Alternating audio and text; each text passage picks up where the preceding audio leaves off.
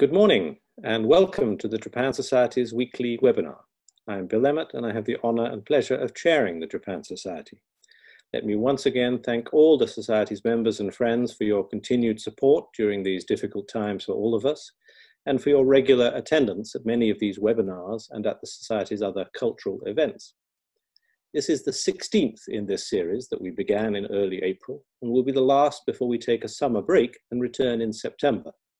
We've covered many topics, and I would welcome all your suggestions for topics that we should be looking at from September onwards. But for me, as some of you know, today's issue of gender equality and diversity in the workplace is especially important, especially for the future of Japan, but also for the UK. Because, it's because of its significance in what is and what may not be changing in Japan, it is a topic on which I have been doing my own personal research. Indeed, shamelessly, I should mention that I have a new book out in English in September called Japan's Far More Female Future, and will be planning my own talk for the Japan Society on the issue during the autumn. But today we have two real experts on the issue in both the UK and Japan to, to speak about it. Neither country has a lot to boast about on gender equality. Only today I read an interview with the former Conservative Minister, Amber Rudd, lamenting the lack of women in senior positions in the UK government and claiming that the Prime Minister, quote, feels more comfortable with men, a familiar lament in both countries. Briefly, the background data is like this. There are many ways to measure the gender gap, but the World Economic Forum's annual Gender Gap Index does as comprehensive a job as any.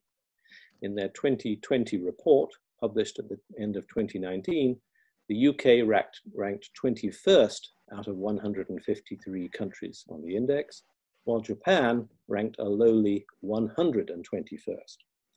The UK rated highly on equality of education and health, a bit less well on economic participation, and poorly in politics, as Amber Rudd noted. Japan rated also highly on health, but a bit lower than the UK on equality in education, certainly lower on economic participation, and very poorly in politics. There are many ways, in particular, to measure shares of leadership positions, but on the World Economic Forum's definition, in Japan, women occupy 14.8% of leadership roles, whereas in the UK, they occupy 36.3% of such roles. One important factor on leadership in Japan, in my view, is that gender inequality in tertiary education for today's leadership generation, those who studied at university during the 1980s, was extremely wide. More than 35% of boys, but fewer than 15% of girls attended full four-year university courses. So the pipeline of potential female leaders is limited. Britain went through that sort of elimination of the tertiary education gap at least a decade sooner than Japan did.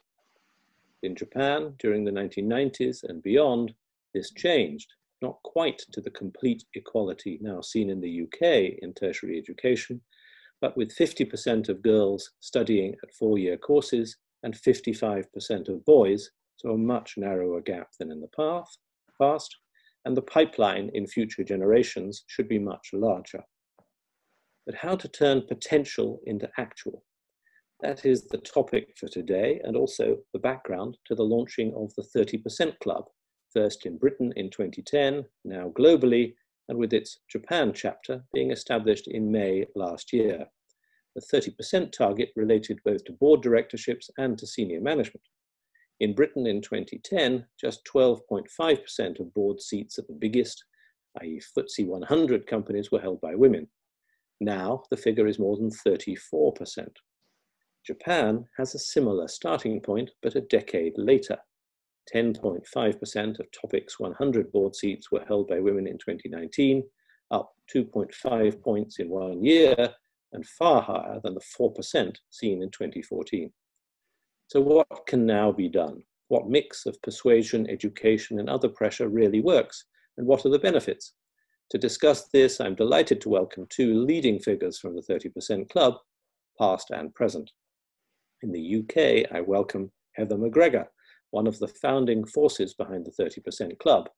Heather is now Executive Dean of the Edinburgh Business School, part of Heriot Watt University, but many of us know her first for having written a column for the Financial Times called Mrs. Moneypenny's Penny's Letter from Tokyo when she was working there in finance, and then in London when she was CEO, now chair, of the Taylor Bennett executive recruitment firm. And in Tokyo, I welcome Yoriko Goto, who is chair of the Deloitte Tohmatsu Group and vice chair of the Japan chapter of the 30% Club. Goto-san has many years of experience in public accounting and was the first female appointed to Deloitte Japan's board of directors. Both of our speakers will open with 10 minutes of remarks, following which, as usual, we will have a discussion and, most important of all, your questions. As before, please submit questions through the Q&A button at the bottom of your Zoom screen. This week, as the 30% Club was created in Britain, I'm going to ask Heather McGregor to begin. Over to you, Heather. Thank you very much, Bill. And um, it's really lovely and a great honour to be with the members of the Japan Society. Um, I have lived and worked in Australia and Hong Kong and Singapore um, and Tokyo. And I can honestly say that the only country that I ever left in great sadness and wishing I could stay was Japan. Um, and I had visited many times before I went to live there. It was my dream to go and live in Japan. Um, and when I finally was posted there in 1998 by ABN AMRO, um, it, was, it was honestly one of the most special parts of, of my life. Um, and before I fast forward to 2010, which is when we set up the 30% Club, and speak briefly about you know what we were doing with that and, and how we were um, doing it, and, and, as Bill said, what works, um, because there's it's very very important that you do things that work. And believe me, some of the things that we tried didn't work. Um, I just thought I would just share with you a little bit about um, how things have changed uh, over the time since we set up the 30% Club. So I'm going to share my screen with you. Um, and so this is a bit of technology that we have to hope for the best here. Um, so um, let's make sure this works. Bill, can you just tell me as soon as you can see the screen? Yes, I can see it. That's perfect. Lovely. So this won't take very long because I don't want to um, blind people with science, but I just thought for old time's sake, I would, um, uh, I would, oh, I would move. I can't seem to, to share my screen, but not to actually move move the, um, oh, there we go. Um, I would share a picture of me writing my column. So for those of you who ever read Mrs. Moneypenny in the Financial Times, and, um, and which was originally entitled, as Bill said, Email from Tokyo, I started writing that column. I wrote it for 17 years, but the first two years of it were from Japan. And um, somebody took a picture of me writing my column one day in a Ryokan um, up on the Noto Peninsula. And so I thought I would start by remembering the days when I looked 20 years younger. I was 20 years younger, and I was writing 900 words a week for the Financial Times, which they interestingly didn't actually print or publish it in the Japan edition. You could only read that column if you lived in the United Kingdom. Um, and I, I, my roots of the 30% Club actually were in that column because when the Financial Times rang me in Japan to ask me to write a column, they rang and asked me to write 900 words every week on gender in the workplace. So 20 years ago, this was an issue. Um, and I declined to write about gender in the workplace because, in my view at the time, I didn't have an issue. Um, I, I was you know, living and working in Japan, I was um, a, a full-time employee of a bank and had been sent to Japan, which is very male culture, as we all know. Um, but but that hasn't stopped them sending me there and making me the deputy CEO of the whole office of the whole investment bank. And also, as my male boss spent most of his time on the golf course, um, I just you know I basically was in charge for, for the whole time that I was there, and I didn't. The other thing I had in that in that particular job was the most successful person on the sales floor was a woman, was a Japanese woman, and so I had the most amazing role model. Her name was Yoshi Kitagawa. and she was um, hugely successful at broking uh, European stocks into Japanese fund management houses. And so I, I really didn't have um, any lack of support, I didn't have any lack of uh, of role modeling from Japanese women there. So that that from my own personal experience was very positive, but I appreciate that it's not really like that. And I looked back at my columns when I was preparing for this talk, and to my absolute horror, I discovered that 20 years ago in Japan, looking at my, notes from my, my, my life at that time, it was in those days, um, it, it, it, was there were overtime prescriptions for women. There was a limit to the number of overtime hours that a woman could work, but not a man. So you'd it, you know even in the employment law that existed then in Japan 20 years ago, there were all sorts of restrictions on women that didn't exist for men. And it, this this I mean I'm looking back at these notes now in absolute horror. I don't know how I how I thought that was completely normal.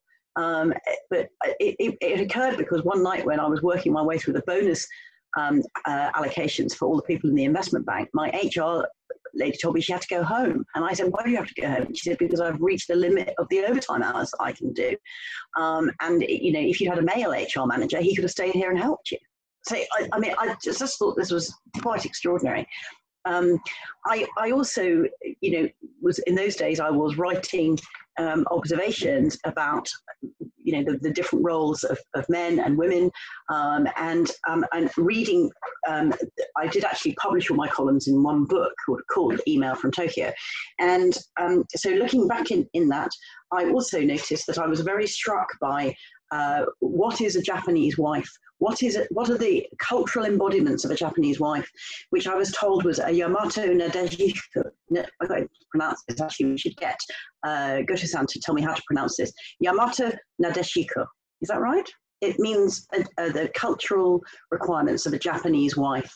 And um, I asked a Japanese colleague what this meant, and she said it's a woman who can understand a Japanese man who has a Yamato Damashii uh, spirit and who is quiet, patient, supportive, a woman who always behaves in an elegant way and gracefully, who never complains about men's attitudes.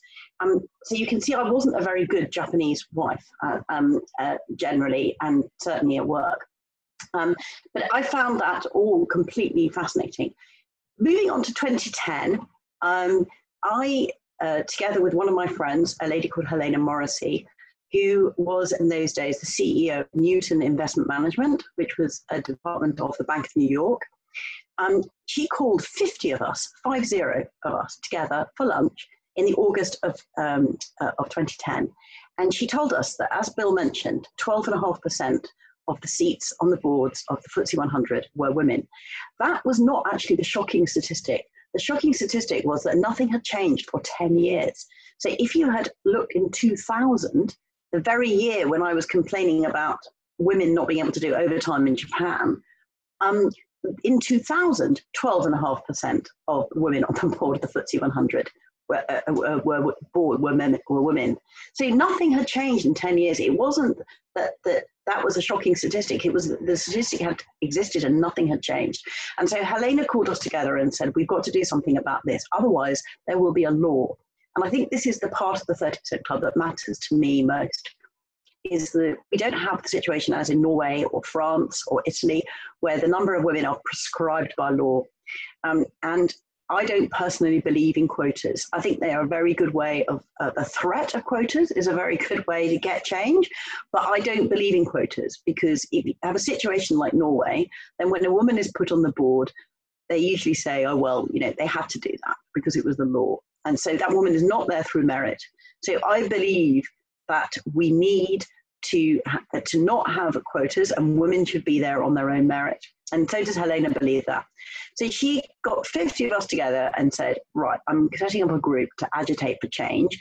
Um, how many of you are in? Now, this was 50 women that she had brought together, and only 12 of us stayed behind at the end of the lunch and volunteered to help. And there was a dozen of us uh, back then, and we set about the task of trying to change people's minds.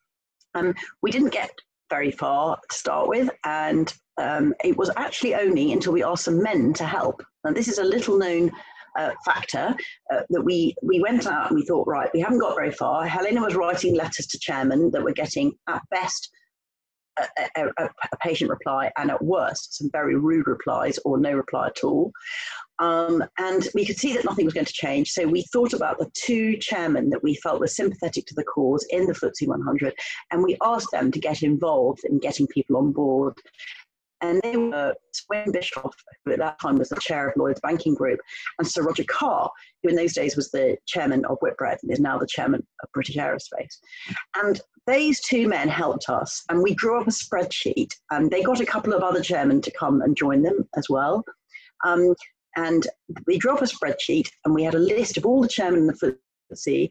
And we asked these, these two chairmen to ring all the other chairmen in the FTSE or contact them. And we ran a spreadsheet which allocated how well everybody knew them. So the, the, the final two categories of this spreadsheet was I know them well enough to phone them. So that was, then we definitely allocated that chairman to that person. Or I know them well enough to phone them at the weekend. That's the ultimate test. Do you know somebody well enough to phone them at the weekend? And if you did, then we got you to make the telephone call. So it was those four male chairmen, who the two original ones and two that we got afterwards, that helped us and started to make it acceptable to align with the 30% club.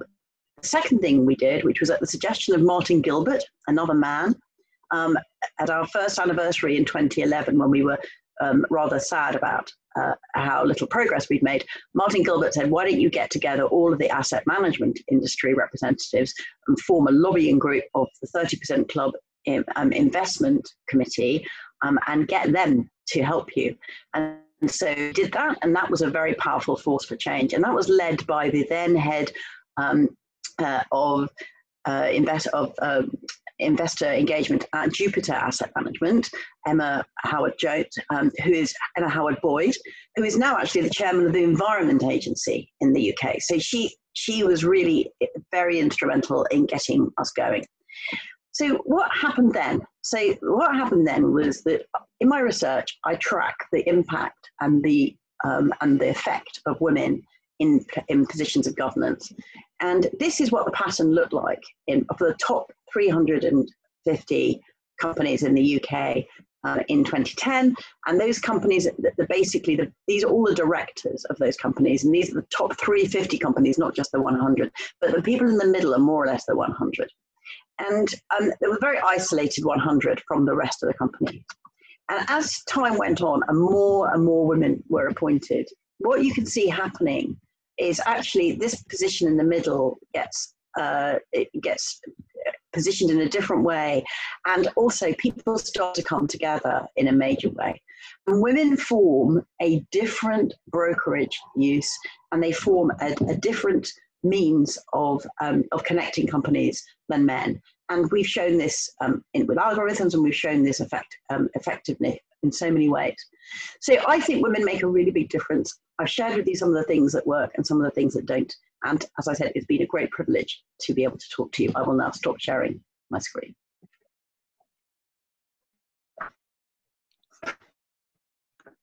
Thank you very, very much, Heather. Um, someone has immediately asked a question, which I am going to lob back to you. That was a wonderful um, uh, um, tour de force on how it all happened and what, what you did in those graphs, could you just explain to the audience um, in that representation of where of the of how it evolved over time, what is the graphic actually representing? How do you how would you just explain that graphic to the audience? The graphic is representing how the companies, our biggest companies, are connected to each other. So every dot on those graphs is a person who is a director of a company. If it's a red dot, it's a woman, and if it's a blue dot, it's a man. And you, it, it's too small because I've put it on a screen and we're all watching it on a on a you know on a, um, a, on a laptop or whatever it, it, it's you can't see the the real movement in the color but, but first of all the color changes quite substantially over time and secondly the way that companies are connected with each other and partner with each other um, changes as more and more women are appointed. They connect bigger and smaller companies. So the FTSE 100 stops being a little club on its own in the middle and, um, and, and just the same people rotating around. And women bring genuine diversity and genuine connections across the, the, business divide between larger and smaller companies. And that, that is incredibly helpful for, particularly, for instance, for transferring best practice. If I just give you one very quick example, which is that I am the chair of a risk committee on one public company, and the other public company that I'm on the board of, which is in America, did not have, and it's a much bigger company, and it didn't have a very good risk framework. So I took the risk framework from my small company in the UK that was very well managed and I delivered it in the US to my US company. And women are much better at doing that kind of thing we've seen than men are at transferring knowledge. Excellent. Thank you very much. I think what we might do is get your slides after this presentation and circulate them because the colors didn't quite come through so well on Zoom, but I think they will better on, on email. So we will, we will do that because that's a very powerful representation.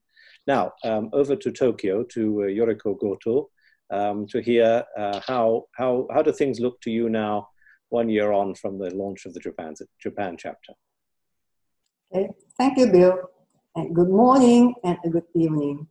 Uh, it's my great pleasure to join the discussion with you today. And I'd like to thank all of you who are joining this webinar for your interest in this important topic, gender equality. Before I talk about the 30% Club Japan, let me start with talking about why I make efforts to tackle with gender parity issues. First, because it's about fairness. People should be treated fairly and equally. In reality, women in Japan carry too many things on their shoulders with very little help. Sometimes women hesitate to take chance at work, considering their responsibility at home. That's not fair. Second, gender parity is a very important strategy for business. We are in a war fighting for talent. Inclusive culture and diversity are two of the most important factors for our success in hiring and retaining highly talented people. Also, diversity in the decision-making body is critical to appropriately manage the risk, avoiding groupthink. Lastly, it's absolutely important for Japan and Japan society whose working population, population has been rapidly shrinking. Women are the largest population who could be utilized more for business. Also, diversity is very important to accelerate innovation, which is really needed for Japan. Okay, uh, let's move on to the 30% Club Japan the Japan chapter of the 30% Club, we call it 30% Club Japan. Uh, it was launched, uh, as uh, Bill uh, also told us, the launched in May 2019. The goal of the 30% Club Japan has been set to reach 30% representation of women in senior management roles in TOPIX 100 companies by 2030. As of now, 46 members joined this campaign. Out of the 46, 15 are CEOs or chairs of TOPIX 100 companies. The club is supported by some powerful advocates, such as Director General of um, Gender Equality Bureau, the Cabinet Office, the FSA, the METI, and other opinion leaders in December of last year, we entered a cooperation agreement with Keidanren, uh, Japan Federation of Economic Organization, on promoting women's empowerment. So how did we launch the 30% Club Japan? Well, I have a story. To be honest with you, I once failed to launch it about 60 years ago. One of my colleagues who was heavily involved in the 30% Club UK suggested me to launch it in Japan. So I made some soundings to see if we could gather a small group of Japanese CEOs and chairs to agree to work on this, but unfortunately, all responses I got were negative. So it wasn't the time yet. Then why and how we tried it again. In 2017, Michiko Tadamatsu, a senior manager at our consulting practice, had a chance of learning about the 30% club. She was struck by the club approach and immediately contacted the UK headquarters and told them that I want to do this campaign in Japan. So then it circled back to me. So I was moved by her enthusiasm and we started working together to launch it. Michiko, uh, who was named as the founder of 30% Club Japan and the campaign manager, has been strongly supported and helped by the UK headquarters. We are also supported by BCCJ, the British Chamber of Commerce in Japan. I mainly worked on recruiting Japanese CEO and chair.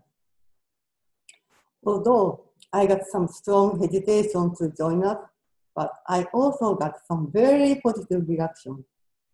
Some CEOs immediately agreed to join us, or even they contacted us to join. That was a nice surprise to me. Then, what has happened? What changed in the past several years? Um, if I understanding, first, the Japanese government has started seriously promoting empowerment of women as a part of its growth strategy. And, uh, the Corporate Governance Code of Japan has been amended to encourage listed companies to appoint at least one female director in the board. The second point is the global movement of ESG and SDGs initiatives. They have been driven by the government in Japan first, but more importantly, many Japanese companies pay a lot of attention to those initiatives and agree with the concept. Also, the stewardship code implemented by institutional investors in Japan and, and other countries, of course, strongly enhanced their engagement activities. Those investors ask more questions and request more disclosure to companies, including diversity matters. Those together create the momentum to encourage the female empowerment among large companies. So 2019 was the right timing to launch this campaign, although it looked, uh, took much longer than Michiko originally expected. So then I'd like to talk about uh, the uniqueness of Japan campaign. The basic approach of the uh, Japan campaign is the same as uh, that of UK.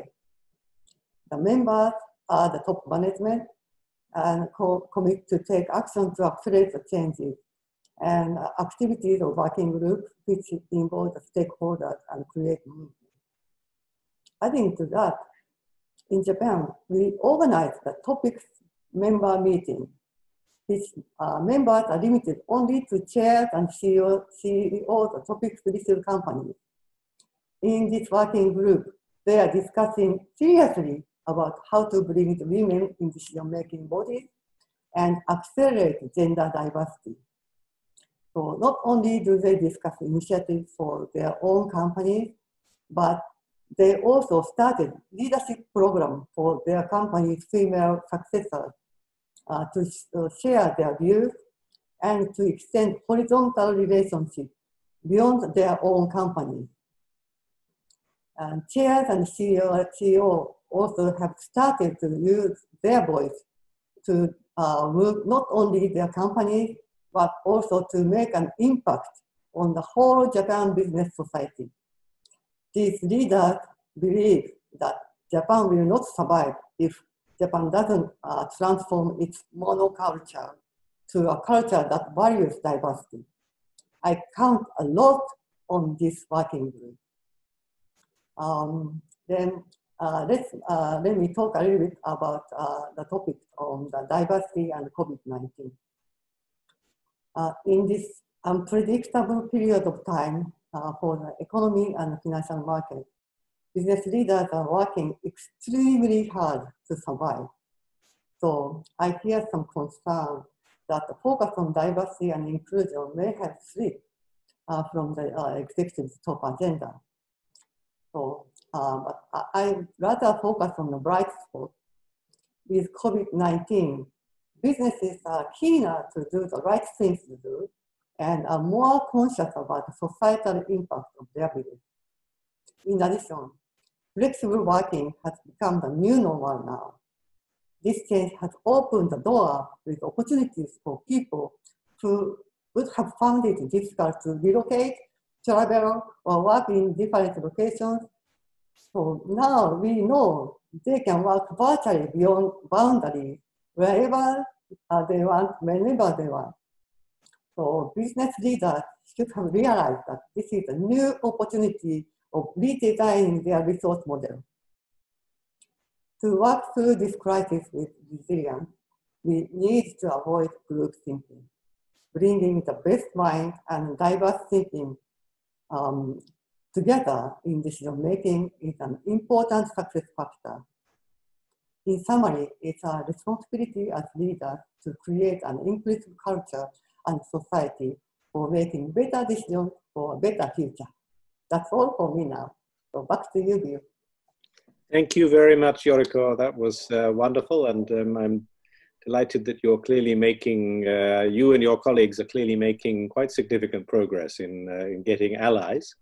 Let me ask um, both of you about a point that, uh, that Heather raised, which was the role of the asset management industry, of investors, I mean, of, of the investment companies, which I think, as Heather said, was a very significant factor in the UK.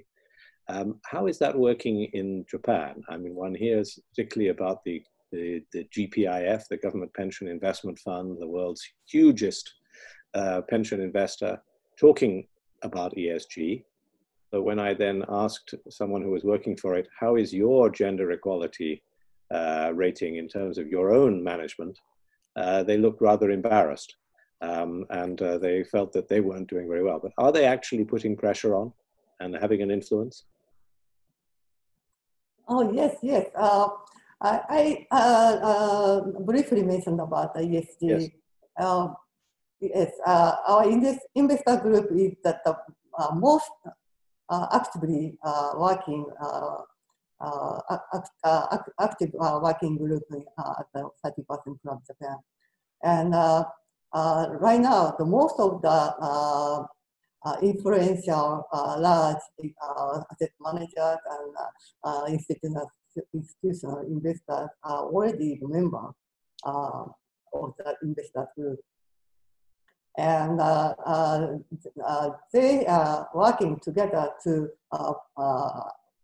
discuss about the better practice of the, their engagement and how to impress uh, the company's uh, disclosure, the company's diversity activities.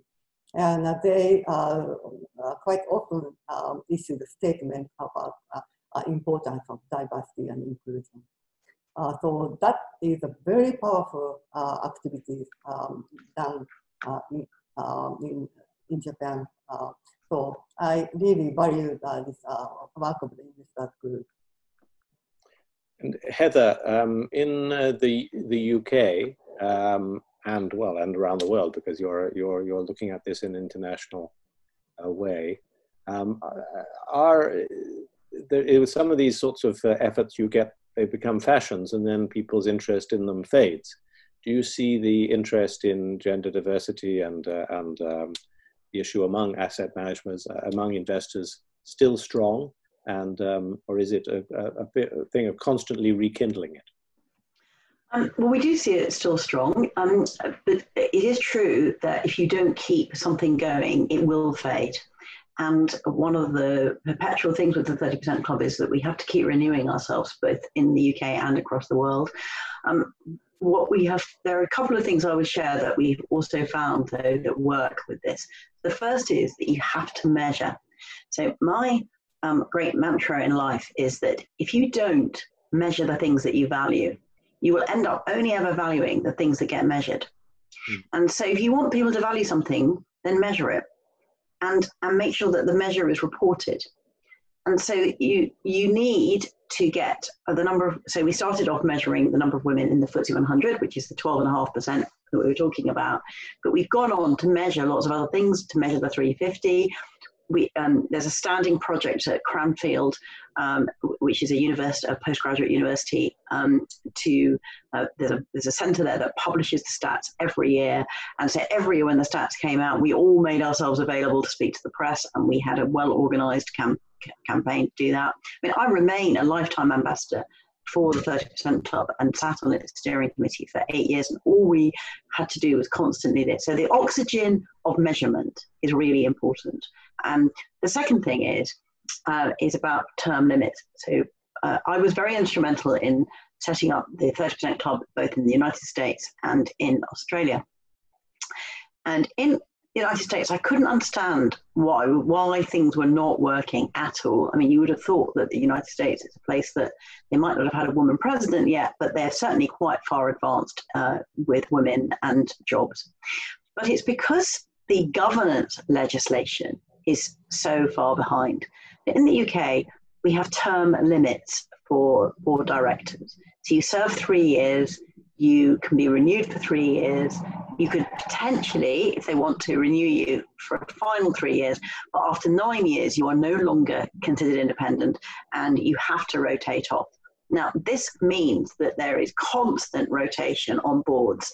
Um, we also have, you know, uh, no chairman, chief executive, uh, joint posts, or very few of them, um, and that this is all under what they call the combined code, which is the way that company governance is governed in the UK.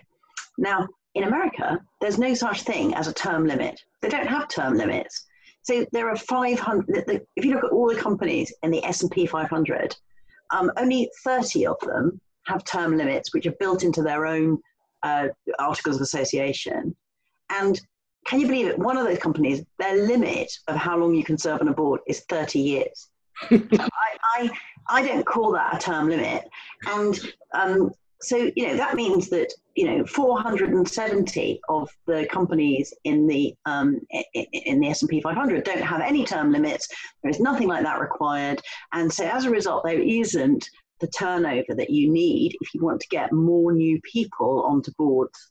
Um, the other thing that really works is uh, um, having people to watch, so having lists published of women to watch. You know, identifying women coming up through the ranks and then publishing lists of these people all over the place.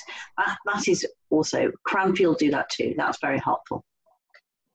Uh, that, thank you. That uh, the importance of data is something that is in the background of what um, Yoriko was saying also about the governance code in Japan. That um, although the, the, the government uh, has not kind of directly imposed targets or quotas or anything, it has required data disclosure uh, and publication, which I think has been pretty important uh, in Japan. So in a similar in a similar way, you know, it's sort of an underrated, underestimated, and realized. Um, yes, uh, especially the, uh, I think Japanese companies are very serious uh, about the disclosure and disclose it candidly. So I, I think uh, uh, raising the bar of the disclosure requirement works. So uh, we will try to um, uh, uh, engage with the government uh, promoting the importance of the heightened disclosure requirement. we'll try. Now, I, I, should move to some questions. Lots of questions coming in. Masako Eguchi Bacon has asked about um, smaller companies? Does the 30% club offer something for SMEs? Both in the UK and Japan, 90% or more of companies are SMEs, and they are also important drivers of economy and society.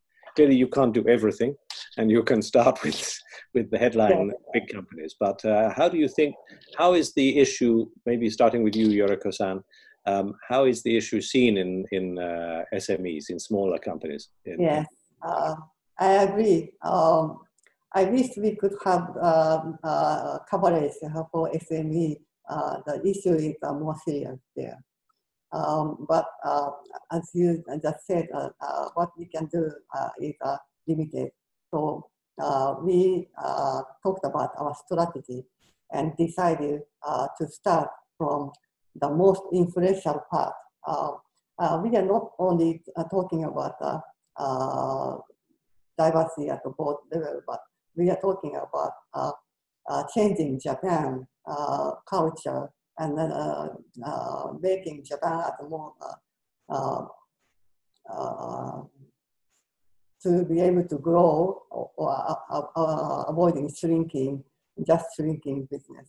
So we to to make that happen, I we thought that uh, just focusing on the more power, uh, most powerful part of the business and let them change first, then uh, let, let them uh, change the part to in, make influence in the other part of the business.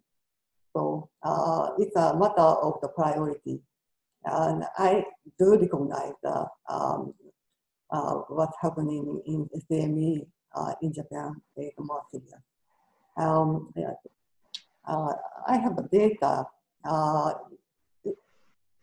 um, even for the uh, TOPIX companies, uh, TOPIX 100 companies, only 15 companies uh, don't have a female director out of 100 um, last year. So this year uh, figure will be better, but uh, we are still uh, counting. And uh, but TOPIX, uh, when we talk about TOPIX 400, um, 125 com companies still don't have a female director. So then SMEs forget. So I, um, I think uh, uh, in the uh, time being, uh, we should uh, start focusing on that, or uh, in, we should tackle with that in other way. but 30% Club is a priority in the larger company. It's just a matter of strategy. Thank you. Now, Heather, the, the maybe partly related to that question, but more broadly, uh, questions coming in about you know, working styles um, and the influence that that has on uh, on women's prospects. Um, Nicholas McLean has asked about uh, about you know the the Japanese tradition of uh, long hours after work, drinking and bonding and so forth, which really is a question in the end about team building and management uh, structures in in a company. Uh, now, you know, one answer I always give to this is that, well, it's not as if people don't work long hours in, in companies in other countries. Um, it's, not, it's not a problem unique to Japan, but what's your perspective on that work style issue as far as the prospect of, of uh, getting women into uh, senior management positions are concerned and how it's how it's affected. This is not unique to Japan. I know that everybody likes to talk about the Japanese culture of going out to um, bars and socializing and then falling asleep on the train on the way home. Um, but the real issue here is social capital. So women lack the social capital um, in many cases to, it's not just about um, what you know, it is about who you know. And for all of those people who think that that's unfair, um, I would say to you that um, if you've ever studied logic or philosophy, you will know that things have to be necessary and sufficient. And it is necessary to be good at what you do, but it's not sufficient. And you need to invest in something. If you've got a moment, you could look up something called the Solow principle, which is the, the part of our economic expansion that is not accounted for by the factors of production. And it, it is the um, the, the know-how, if you like, the tacit knowledge. Actually, one of the leading scholars on this, and Nonaka-san is the is, is a um, is is a is a Japanese academic who's written about tacit knowledge and implicit knowledge. And you know, the thing about this kind of knowledge pass on and know-how, it, this actually happens when people meet together and talk, and they build social capital, and it is incredibly important because even now, even in the UK, you know, what will happen is you will have people being selected for a board position and it will come down to two people maybe at the end of the day. And then they will go around the table and say right who knows these people? And if you have no um, if nobody's ever heard of you and then you've got to remember that an appointment is not a hiring decision. It is a risk weighted investment decision and in order to weight the risk people look to someone vouching for you or saying that you're not going to come into this board and disrupt it or you're going to come in and you're going to make a contribution. And that needs people to know you. And women don't build their profile because here and in Japan and in other countries of the world, on the whole, women are doing caring responsibilities. Japan has, and this was published in The Economist, this next statistic, um, the Japan woman puts in more hours outside you know outside the workplace in the home than men on a ratio basis than any other country in the world so the, the you know it's not 50-50 believe me even here um, I mean, even though I did get my husband to make me breakfast this morning, it's not even 50-50 in my house. So it is, uh, you know, in, in the home, um, you know, women are doing an unequal share of the administration, and so they tend to go home after work and do that administration and that caring and everything else, rather than go out. And that's why they don't build the same social capital. That's not just Japan; that's everywhere. Um, I wrote a book called Careers Advice for Ambitious Women. The second chapter was called Build Your Social Capital, you know, and how to do it and how to go about it, even when you have caring responsibilities and you have um, and caring responsibilities aren't just about children, remember. They're about older parents. They're about, they're about having to pack up and leave your job when your husband gets posted abroad. There are lots of reasons why women don't get to invest in social capital the way that it is. And it is really important. How do you see, Japan, about um, the, the, building of social capital for, for female professionals um, in the uh, given, given absolutely what uh, what Heather's the reality that what Heather Heather has written about family responsibilities about behavior in work and to some degree in a question that Joy Hendry has asked about this about people's aspirations. Young how many young women in Japan and Britain actually aspire to uh, these positions of building social capital is a question that's often asked. How do you see it currently in the new generation in in uh, Japan? Yes uh, I, think uh, the uh, new generation uh, uh, started to uh, work the exactly the same way as men and women the equally. but over time, um, some women um, drop out from the course um, because of the many reasons. Uh, the one is uh, um, the responsibility of the uh, householding and uh, lack of the support uh, from their husband. But in younger generation, it's dramatically changes. Uh, they do work together and share the responsibility. Um, so the genera- in the generation, it's different and quite uh, dramatically changing.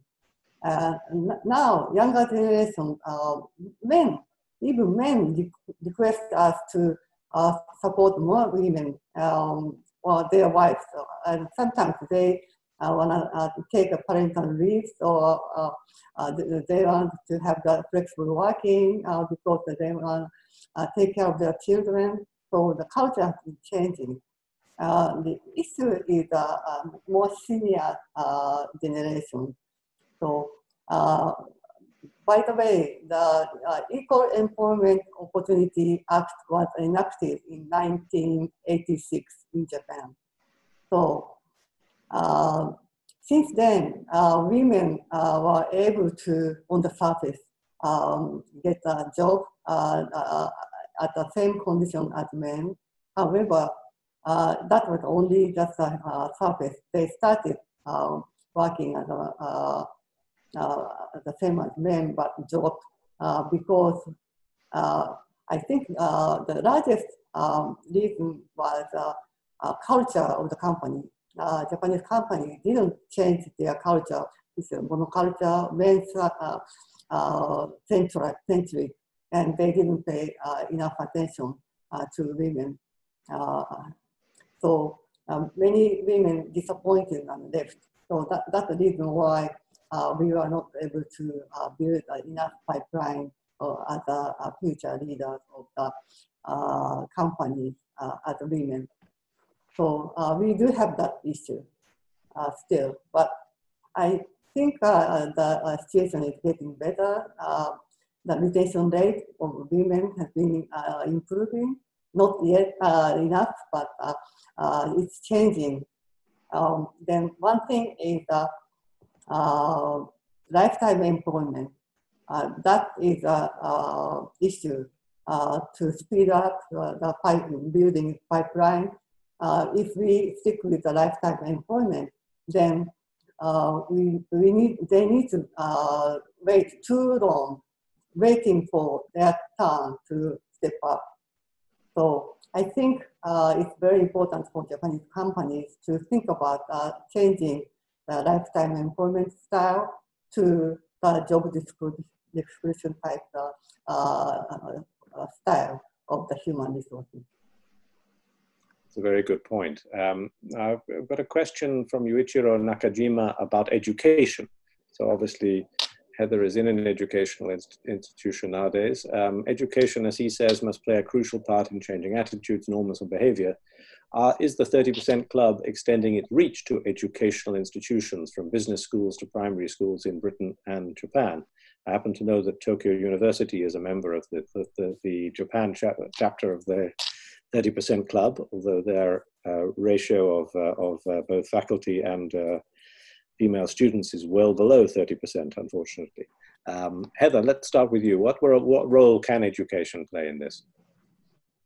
Um, so the first thing that the 30% Club did when we got going was to encourage business schools to offer um, scholarships for women to do MBAs at the leading business schools. And so there are now 30% uh, Club scholarships for people to study at universities um, at the London Business School. The very first one actually was the Henley College of Management, which is part of the University of Reading now. They uh, they came forward and offered it, um, and I was a judge on those in those early years. Um, and when, of course, I became head of a business school myself uh, in 2016, when I became a professor, the first thing I did was to institute uh, scholarships for women to do MBAs. And we now run a scholarship for a woman in the UK, a scholarship in, um, in our campus in Dubai, and a scholarship in Malaysia. And of course, there are 30% club chapters now in those countries too. So the 30% club in Malaysia uh, chooses the winner there, and the 30% club in what they call the GCC, the Gulf, the Gulf states, chooses the winner there. Um, and we we have encouraged business schools to do that. There is still a um, still an imbalance of women going to business schools. It is actually almost thirty percent, um, but what we really want, of course, is fifty percent. And that's the other thing is when you measure things, remember not just to measure the number of women. I, have read some of the questions as well, some of about the women in the um, in the in the TOPIX and so on. It's not the actual number of women in the, in the TOPIX that matter. It's the rate of appointment. So out of how many vacancies are, are getting, of, of all of the appointments that were made in 2019, how many of them were women? And in order to move the percentage up, you need a higher rate of appointment, obviously. And, and so you need to watch the rate of appointment. It's a much more important figure to watch than the number of women on boards. No, you're right. That this um, relates to a question that uh, Yoko Dochi, who is a senior uh, female executive at SoftBank, um, has asked, putting in, uh, uh being somewhat concerned about a lack of movement in the numbers. Um, I think that you're, you're commenting particularly in, for example, in Toyota Motor Corporation, female representation in mid-management, only 4.6%. Um, pretty much the same as Bank of Tokyo uh, 30 years before, um, so not much progress. Uh, Yoriko-san. And Dochi-san herself is, is somebody who is, you know, a huge, and, and thank you for your contribution. It's, it's good to have you here with us. Um, is a huge supporter of this work and um, and is herself a, a very good example. Um, uh, uh, as I said, I think having, um, as is Goto-san, you know, having women in those jobs. You go back to social capital and women, okay, it is not possible to become a partner at Deloitte unless you can prove that you have clients and that you have built a pipeline of clients and clients have to support you. And that's true of all of the big four. And if you haven't built those relationships with clients, you do not get to that job. So, you know, it is it is ingrained in in in people in certain professions to invest in their relationships with clients so that they will be supported for promotion. But that's not true, of course, of lots of women who don't get that kind of support or don't get that kind of clear guidance. You know, if you don't do this, this is what won't happen. Uh, I, I, think it is so important to have uh, role models and people ahead of you. Um, yeah, that's true. Um, I am actually the first generation of the uh, female CPA. Um, then when I started working as a CPA auditor, uh, uh, many people, many companies were surprised to see women auditors. Uh, they've never seen that before. And uh, they didn't know how to treat me.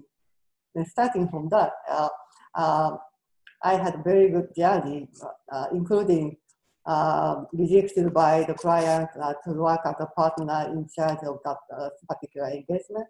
But my partners uh, or my senior uh, executive leaders are uh, so supportive that uh, they convinced our client to work with, with me. and I worked very hard. I was able to get trust from the, those clients. So I was very lucky and happy. Uh, and my role uh, right now is uh, uh that my uh, younger generation uh, avoid having that kind of experience and support and help them working very naturally, equally, in, even in this profession. And Bill, just one moment, one point on that to all of the women on this call. I mean, you, Madeleine Albright made a, her most famous quote, I think, is, is to say that you know this business is about helping other people through in the way that Goto-san was supported by her partner at the time. You know, that is so important. And when you get to the top as a woman, and you know, many people will, many women will, you know, their job is to turn around and help the people behind them. And Madeleine Albright said there's a special place in hell for women that don't help other women. Yeah, uh, but yeah, yeah, yeah. Uh, but so I'm here, and we, um, uh, many of my colleagues and um, uh, friends uh, and many companies, uh, women executives are here to help and strongly support younger generation. That is our duty, and I'm feel I am responsible for that. Uh, there's been a, a few questions. Uh, I can see one here from Philip Purvis. There was another one earlier on as well about the role of government in this. Um, now, uh, Heather rightly said that the aim of the 30% Club initially was to not have a law on things, but what can the government do? Um, as has been said, we've heard about the importance of the legislatory environment in the US and on this uh, governance codes in the UK. Um, what further things do you think, perhaps you, Yoriko-san, first, can the government... Right. Uh, we already talked about uh, governance code, stewardship code, um, then uh, I, I, think uh, uh, the governance, uh, government will continue continuously support and do a better job helping working mothers, um, providing more social support like uh, uh, elementary school or, or uh, nursery. Um, so we, we still, that, that support is not enough yet. So then I think the government may be able to enhance the disclosure, I requesting enhance the disclosure of the statistics of the empowerment of uh, women uh, in the business or uh, at the government. Um, uh, so for example, gender pay gap disclosures. in Japan, not that disclosure is even discussed yet. So uh, it, it's a quite a distance from the, the activities in Europe. I understand that the, the European government started requiring uh, companies to disclose. Before asking Heather about government, I can chip in only add one tiny thing, which is to say about the national universities.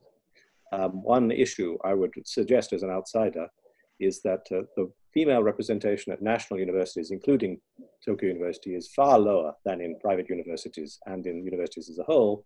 Why? Well, one reason is because every exam has to be has to include science uh, STEM subject, uh, and school girls perform much less well on STEM subjects in Japan for all sorts of cultural reasons. Uh, changing that entrance exam requirement to be closer to that of private universities, where you can take an exam in your major rather than in something that you're not studying, it would seem to me would uh, would uh, make a big difference in national universities. But let me give Heather um, some last words because I'm running out of time. But uh, let me let me ask ask Heather what she thinks about government and its role. So I think it's very important to have um, a role for government, but I prefer not to see legislation. You know, I prefer to see um, more the kind of things that we have here, which is comply or or explain.